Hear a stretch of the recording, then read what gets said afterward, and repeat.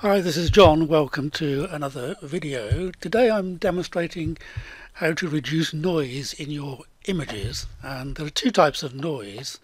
Um, firstly we have color noise and um, this is shown as typical color blotches on the image when you zoom into 100% or higher.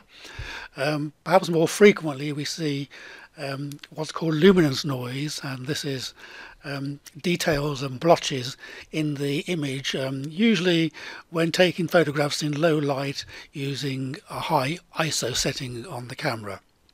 Um, uh, noise can also be introduced when recovering shadows in an, in an image. Um, so let's look at an example, um, opening an image from the file menu. Um, this is an image that was taken indoors without flash and um, if we actually zoom in um, we can start to see some of the noise in the image. You can see the noise in the wall here. Zooming in quite a way, that's to 100% and um, you can see the um, the blotchiness from using a high ISO. Um, the filter menu contains the noise reduction tools. So if we go to filter, noise and reduce noise. Now these sliders do a pretty good job for um, removing color noise and um, and preserving detail and letting you adjust the strength. But we only have quite a small um, preview window here. So I want to give you a tip to use the camera raw dialog which opens up much more benefits and gives a larger preview. So I'm going to cancel this and um, close down this image. Now I'm going to open in Camera Raw and um, RAW files obviously open automatically in the Camera Raw dialog but for, we can also open JPEGs in the Camera Raw so go into the menu, click File, Open in Camera Raw and choose the Im image again and click Open and the camera raw dialog will launch. Uh, one tip is to always make sure the depth is set to 8 bits per channel. Um, for JPEGs you don't want 16 bits and um, generally in the Photoshop Elements editor um, there's very limited editing that you can do with 16-bit images so I always suggest you make sure to start with that is set to 8 bits per channel. I'm going to zoom into 100% and again you can see the grain. Let's take it higher than 100% 200% and you can really see the grain is apparent. Um, I say we used to call it um, grain in the days of film but calling it noise gives a suggestion that it's something that should be removed. You're probably familiar with the basic panel in Camera Raw if you've used it before so let's scroll down to the detail panel.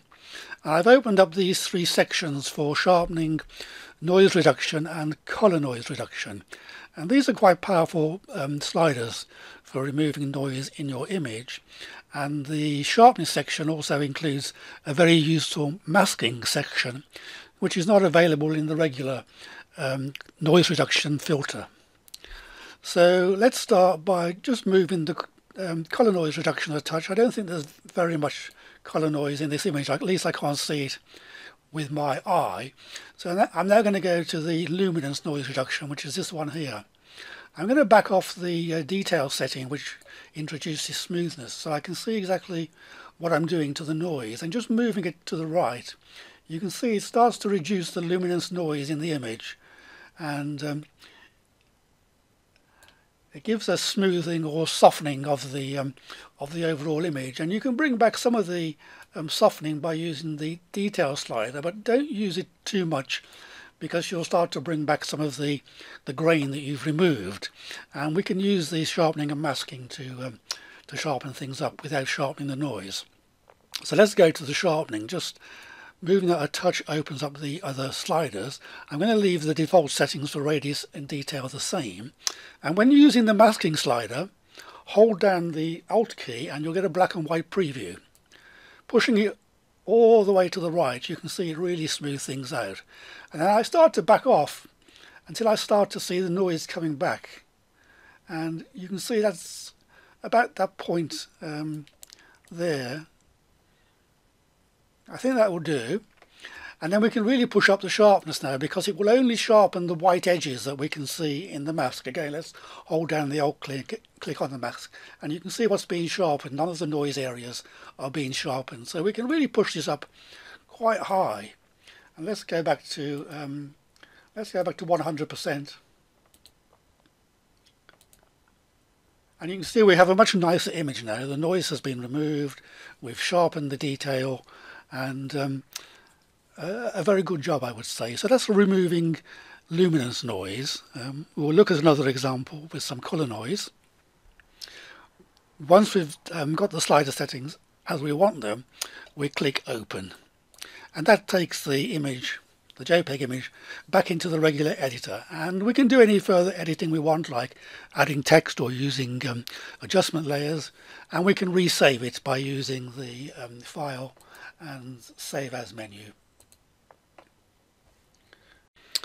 So let's look at another example, um, this time with some color noise. Um, before doing so, um, can I please ask you to click on the thumbs up button if you like this video and if you haven't done so already please subscribe to the channel.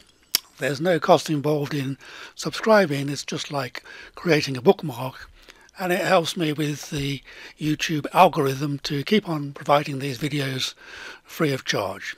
So let's go to the menu again, File, Open as Camera Raw and browse to the image I want, which is this one here, which was taken in a Roman museum in London. It's quite a dark underground cavern um, with just the um, illuminated sign of Mithras, which is the logo for the public museum.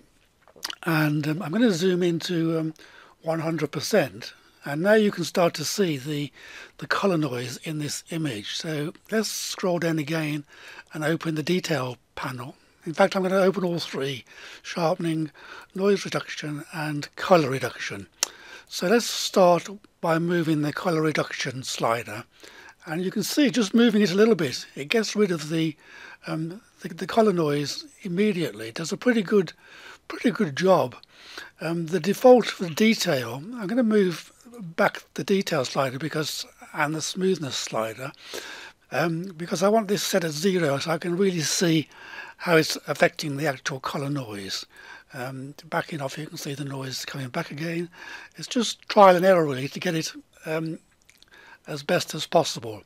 Now we have some, um, I think also some you can see up here as well as um, the colour noise which we've removed. Um, we've got some luminance noise. I'm going to move the luminance noise slider now to to get rid of the lumen and you can see it's doing a smoothing job and that's what noise reduction does. It tends to do a a smoothing job and the detail um, brings back some of the information that has been smoothed out. But we need to be careful not to bring back the noise by the, the detail with the detail slider. And once again I'm going to use the sharpening and masking um, uh, panel. Just uh, moving the sharpening slider opens up the other sliders. The radius 1 and detail I will leave at the default of 25 and then I'm going to hold down the alt key so we can see the masking. And if I move the masking slider to the right everything in black is masked and everything in white will be sharpened. And um, the, the, that, that's the detail I want to see. So I'm, I'm going to move it quite all the way to the right and you can really see what it has done. And then I tend to back off until the point where I start to bring back the noise. And I mean, some of that is grain in the actual Roman walls. Um, and the top left, you can see the noise. So I'm, I'm going to set it about there. I don't want to do it too much. And let's zoom out to one to one. And you can see, I think this image is much better. That's had the color noise reduction removed first, and then the remaining luminance noise, and using the masking and sharpening panel and we can push up the sharpening now that we've masked quite a way. And um, you can see it's only sharpening the edges. And we can get a really really good result without bringing back any of the noise. You can see zooming back in most of the noise is gone. And um, that's using camera raw which I hope you like I appreciate your views on these tutorials, so um, please let me know in the comments section below the um, below the video and uh, if you have any ideas for future tutorials you can also leave comments to um, let me know what you'd like to see in the future. Otherwise thanks for watching and bye bye for now. See you next time.